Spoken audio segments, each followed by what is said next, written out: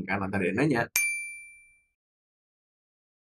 Kenapa sih akun saya susah dapat endorse? Jadi ini berdasarkan pengalaman saya ya, jadi karena ada aktif juga di akun personal ya, akun saya Joe Andreas kalau kamu lihat ya ada beberapa brand yang pernah endorse. Ada tiga alasan sebenarnya yang saya perhatikan kenapa akun media sosial kita kesulitan dapat endorse. Yang pertama adalah jelas konten kita kurang menarik, baik dari copywriting-nya, dari storytelling-nya, ataupun di editing-nya. Karena ini juga kejadian sama akun saya, yang mana waktu akun saya itu hanya isi kontennya itu tulisan-tulisan kayak gini, yang endorse itu udah jarang banget, bahkan hampir nggak pernah ya. Jadi kualitas konten, baik itu dari segi editingnya, tambahin subtitlenya, dari copywritingnya, itu sangat berpengaruh. Kedua adalah kamu nggak konsisten posting, karena akun saya waktu jarang posting pun, ya udah dikit banget sih brand deals atau penawaran yang berdatangan. Dan yang ketiga adalah followers kamu di bawah 10 ribu. Walaupun ini agak subjektif dari pengamatan saya karena nggak ada datanya, tapi biasanya ya yang saya perhatikan, biasanya saat followers di atas 10 ribu, itu potensi kemungkinan dapat endorse-nya lebih tinggi dibandingkan.